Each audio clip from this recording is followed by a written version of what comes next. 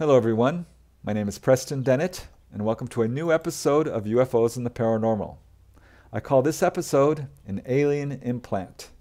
This is the true story of a single mother and her teenage son who found out that they are UFO contactees. It's a very unusual story with what appears to be hard physical proof of an alien implant. And it's got some very interesting details, and this is why I wanted to present this case to you today. I called the mother Nancy and the son Anthony. This is not their real names. They prefer to remain anonymous. They come from a small town in Indiana, which again, they do not want named. They're very private about this. They just want to live normal lives. Uh, but their story begins really on March 1st, 2012, when Nancy took Anthony to the dentist. At the time, Anthony was 14 years old. And this was just a normal checkup, cleaning, and x rays. And everything went fine. As far as they knew, nothing abnormal happened. They went home, and next year they went to the dentist, had just a cleaning and a checkup as they do each year. Next year after that, another cleaning and checkup. But it wasn't until three years later, on August 11th, 2015, that they were scheduled to have x rays again. And this is when they found something very unusual. Anthony sat in the dental chair, went, had his cleaning, had the checkup, and x rays were taken. And as the x rays were being examined by the dentist, uh, he became very concerned. And he called over another dentist, and then another, and soon all seven dentists in the clinic were looking at these x rays with obvious concern. Meanwhile, Nancy's sitting in the waiting room, and she can see into the office because there's a window. And she motions to her son, Anthony, what is going on? Anthony shrugs. He doesn't know this point, he hasn't seen the x rays. But then the dentists call Nancy into the office itself and they ask Anthony and Nancy, Has Anthony ever shot himself in the mouth with the BB gun? And of course, they both deny it. And they show them the x rays that they had taken, which show the presence of what appears to be a BB like object underneath one of Anthony's molars on the left bottom side. And they told Nancy, We found something in your son's mouth. It's underneath the tooth. It looks like a BB, but we don't see any imperfections. There's no scarring, no evidence of any entry wound. We have no explanation for what it is. Anthony and Nancy denied ever having you know had a BB gun in the house. Anthony never got shot in the mouth.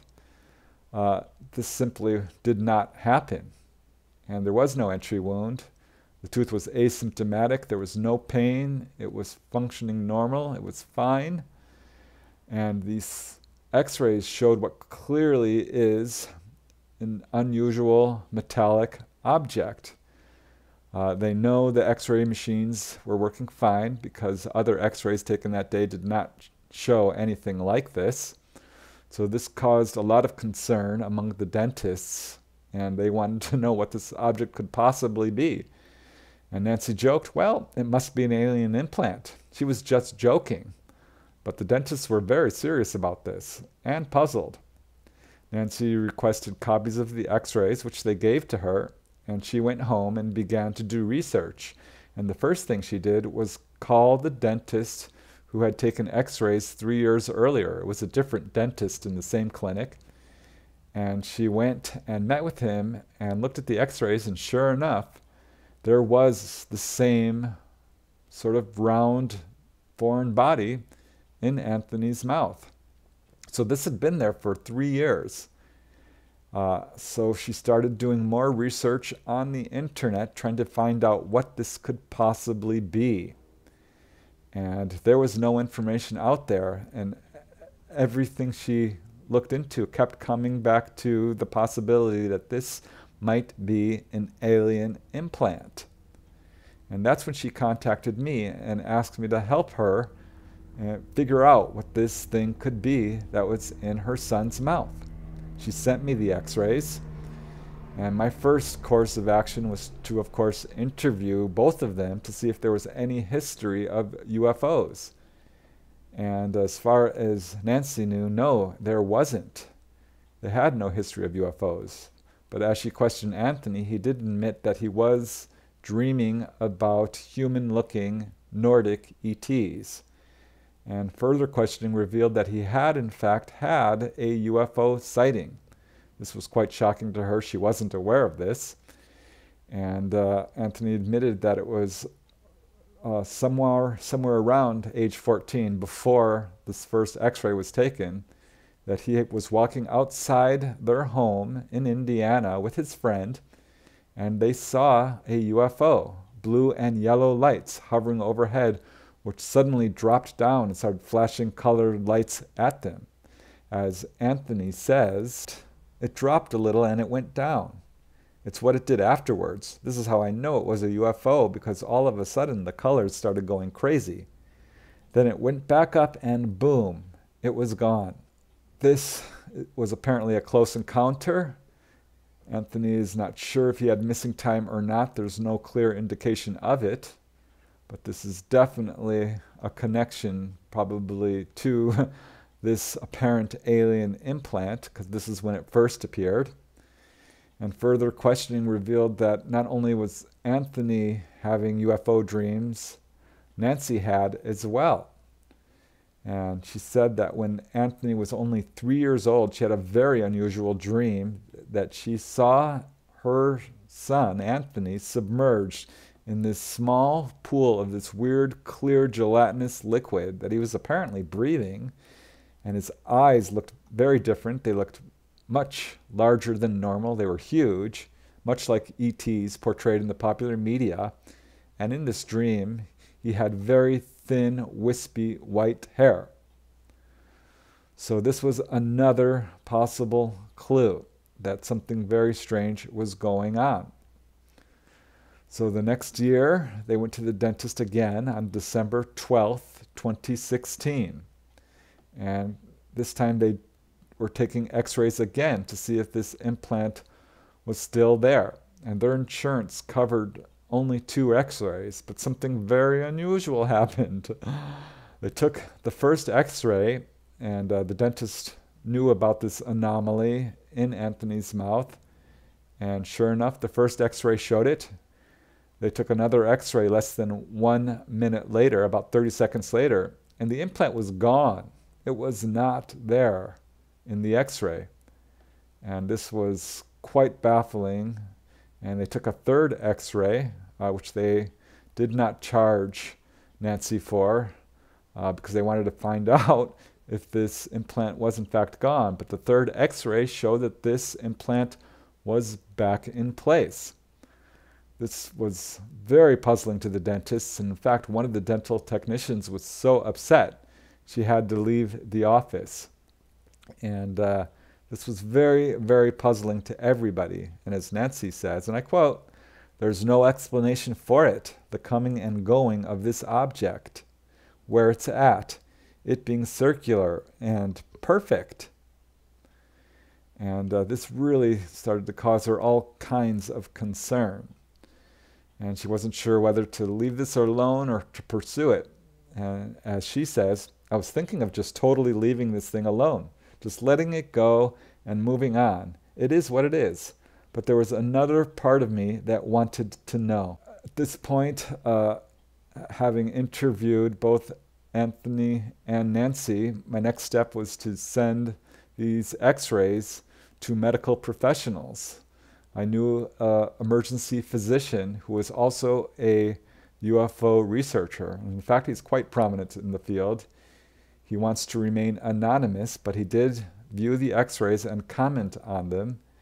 And his first question, again, was Did Anthony shoot himself in the mouth with a BB gun? Which, of course, he did not. And this uh, doctor did leave a written comment, and as he says, and I quote, there is nothing natural about a perfectly spherical metallic density foreign body as shown in the x rays.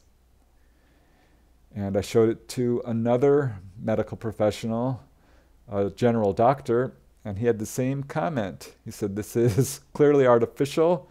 This is metallic, whatever it is. He's also a UFO researcher. And uh, asked again if Anthony had shot himself in the mouth with a BB gun. And uh, again, I said, No. Nancy completely denies this, as she says, being around any type of BB gun it just didn't happen. It's as simple as that. And I pointed out to the doctor that, listen, there's no entry wound, the tooth is asymptomatic, and in fact, this object looks quite a bit larger than a BB. So they didn't know what to make of it other than that this was a foreign body. Nancy became more and more obsessed at this point, and she really wanted answers as she says, and I quote, I always believed there is someone out there. I never really thought about it. After this happened, I can't get it out of my head. It's the most embarrassing thing about it. It's like I have to get to the end of it. It's stuck in my head. There's not a day that goes by I don't think about it. It's like I have to know. Is that insanity? Nancy felt like Richard Dreyfuss in Close Encounters. This is how obsessed she was. She wanted answers, and there was no way to get to them. It was clear to her that this was not normal, but she just wanted to know for sure if this was, in fact, an alien implant. And uh, further questioning revealed that she herself did have something unusual. I asked her, you know, did you have any nosebleeds? Do you have anything medical unusual about you?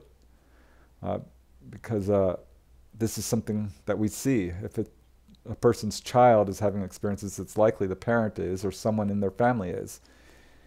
And uh, this jogged her memory. And it turned out that around age nine or 10, she had a strange object appear on the inner nasal passage, an inch or two in, a strange lump, as she called it. It was about an inch or two up inside of her nasal passage. And as Nancy says, I can't explain it. It's white and bony. It's this thing up my nose. I've had it my whole life. I never gave it a second thought because it's always been there. It's never caused me any harm this is where the case stood for a little while. And Anthony and Nancy just tried to live a normal life, but Nancy could not let this go. She wanted answers. She was absolutely obsessed about it. And it wasn't long before she got an answer. And it was on May 5th, 2017, when something very unusual had happened. They went to bed as normal, and sometime in the night, Anthony came into her room. He was having trouble sleeping. And this is, of course, something a lot of contactees report. Both Anthony and Nancy uh, like to have a little bit of light on when they sleep, a night light or perhaps the hall light on. On this occasion, they left the hall light on and the door cracked open. And sometime in the middle of the night, Nancy woke up feeling like there was somebody in the room and took her a while to wake up. She was having trouble waking up and opening her eyes. And she realized that she couldn't move. And she struggled and struggled to open her eyes, and finally she did. And as Nancy says, I was trying so hard. I could see the hallway light shining into my room. I couldn't move. I couldn't move, but I didn't want to move either. I felt something, a weird tingling sensation in my head, in my brain. It didn't hurt, but it was like it was occupied. It was really weird. I was lying there trying my hardest to open my eyes to see what was next to me, and I looked over to my left, and there were lights, different colored lights in my room. They were blinking purple, yellow, blue, purple, yellow, blue. So I looked over to see, and it was happening again. And I was like, oh my God. So she closed her eyes and opened them a couple of times, and each time these lights were still there, and she was starting to really freak out. And turning over to look at her son, she was amazed to see these short figures, silhouettes mostly, sort of hovering over her son and doing something. And as Nancy says, some things were doing something to Anthony. I don't know what, but I saw it. I didn't understand it. You would think that I would be scared. Somebody, some beings, some things, whatever or whoever were doing something to my son. I wasn't freaked out. I wasn't mad or angry. I can't even explain the feeling. I wasn't feeling violated. All I heard was, It's okay. That's all I kept hearing was, It's okay. It's okay. They weren't here to hurt us, and somehow I knew that. The beings just kept saying over and over again in her head, It's okay. It's okay. It's all right. Everything's going to be okay. See? It's okay. It's okay. At this point, Nancy looked over at the doorway to her bedroom and saw a typical gray standing right by the door. And as she says, and I quote, This thing, whatever I saw, it wasn't tall. I would guess about four feet. It had a big head, a skinny body, and then I closed my eyes because I thought, I don't want to see that. It was just real quick. And she looked back over at her son, and as she says, I could see these two alien looking figures. I saw two of them doing things. And she could feel them talking inside her head. And she says, My brain had this feeling. It didn't hurt, but it kind of hurt. And they just kept saying to her, It's okay, it's okay. And she estimates they told her that about 50 times, at which point she finally fell asleep. And she woke up the next morning and instantly remembered the events of the previous evening. She froze there, and her son looked at her and said, Are, you okay? And she said, Yes, actually, I'm really good. I'm fine. And he said, Are you sure? Because it was clear to him that something was going on. And uh, she said that, Yes, I'm actually really good. She says she felt an incredible weight coming off of her shoulders she felt a real sense of relief, like she had finally gotten some answers as to what was going on with her son. And she told him, Don't be afraid, don't get scared, but I think they came. They came to me. And Anthony said, What do you mean? And Nancy explained that this could have been a dream. She didn't think so, but these grays came. And uh, Anthony said, They were doing stuff to you? She said, No, no. They were doing stuff to you, and I was just lying there. And Anthony said, Oh, I wonder if my alien implant is still there. And Nancy replied, I don't know. It turned out they were due to go back to the dentist in a couple of months, so they would soon find out. But Nancy still felt this incredible relief. As she says, all the things that I used to feel, all the nervousness. It's okay now. I don't have to worry now. That's all I know. That's what I was told. Everything is okay. I don't understand. But the funny thing is, after all this, I've calmed down. I'm still embarrassed and jittery about thinking of this implant. But it's like they gave me a small taste of an answer, and I'm good with that. Just enough to tell me it's okay, it's all right. You don't have to feel this way anymore. That's what happened. It was real. I felt everything. I saw those lights. There's no doubt in my mind that what I saw was real. I woke up refreshed in an odd way. It's like I got an answer, just enough of an answer to calm me down. And that's it. In July 2017, they went back to the dentist, and sure enough, the implant was still there. X rays showed that it was still in the exact same place. At one point, Anthony did get his wisdom teeth removed, and the oral surgeon offered to remove this implant, but Anthony denied it. Uh, this request, he said, "No, I don't want it removed."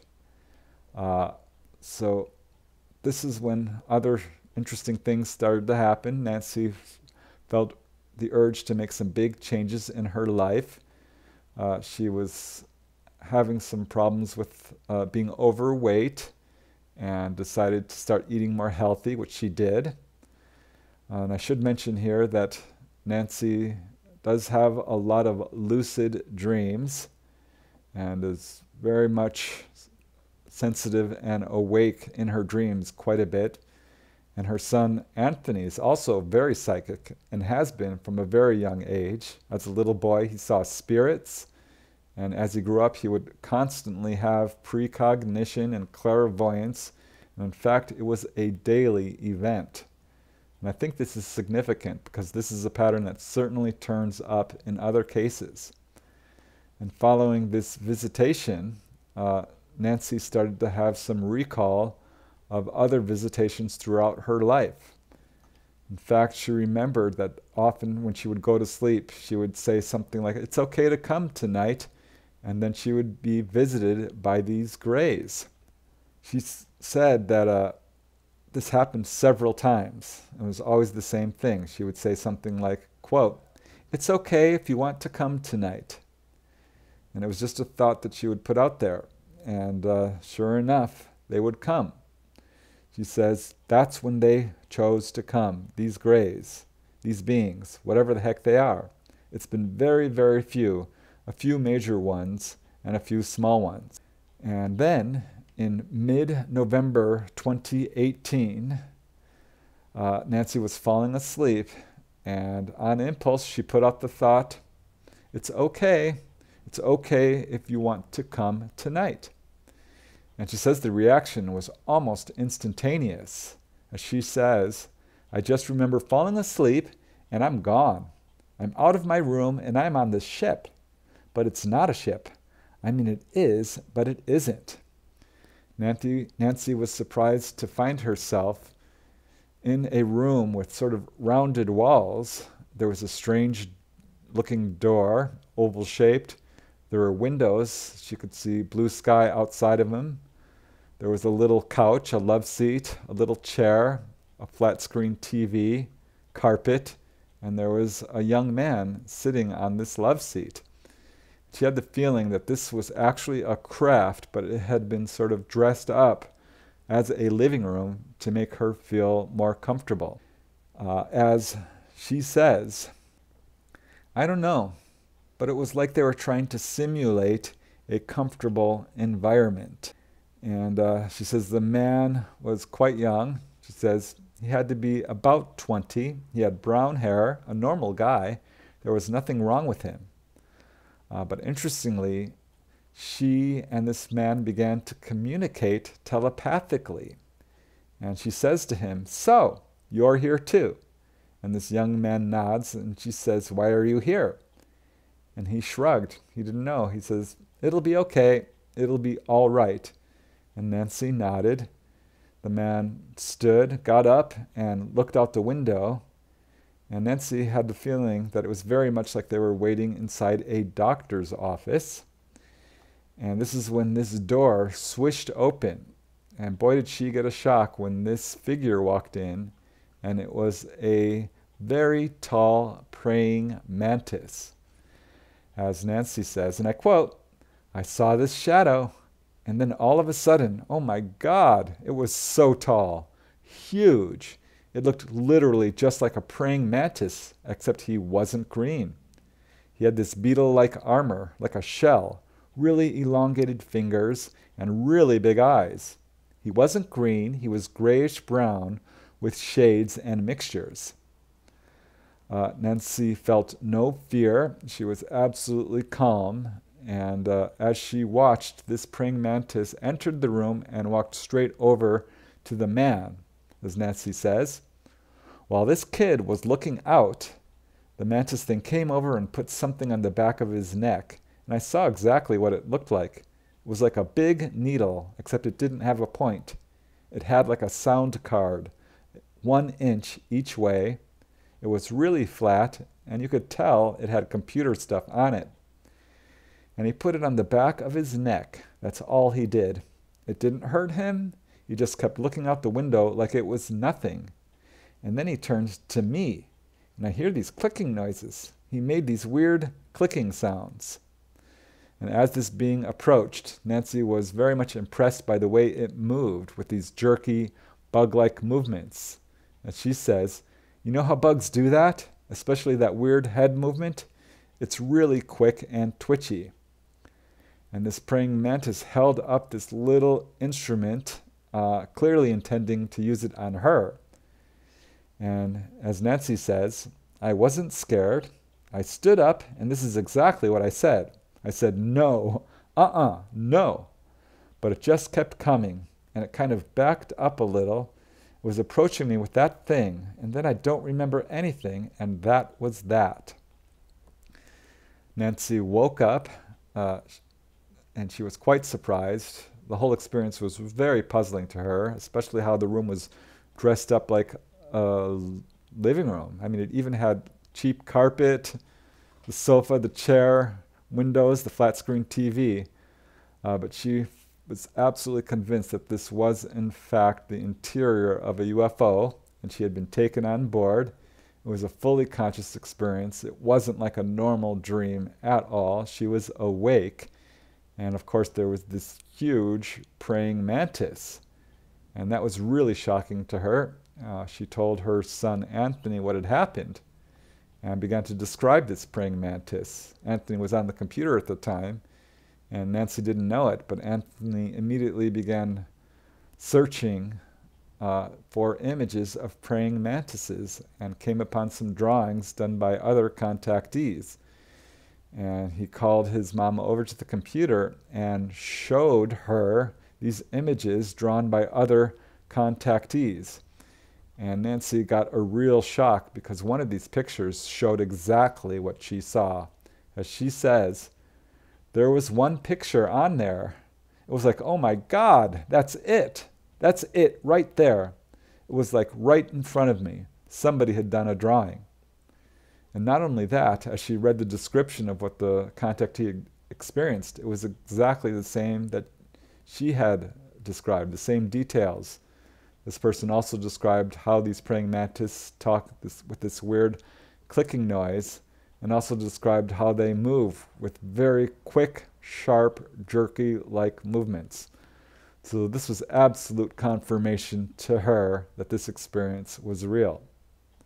And that's where their encounters at this point stand. Again, they prefer to remain anonymous. I did cover their story in my book, Wondrous 25 True UFO Encounters. It's one of my favorite encounters in this book. I've interviewed a lot of people who've had this experience, but uh, this mother son duo really touched my heart. I've come to look at them as really good friends, and uh, I'm just really affected by their experience. And I think it's got some very interesting facets to it. It can show, again, how people don't realize they're contactees their whole life. It's a very benevolent case. They have no real fear.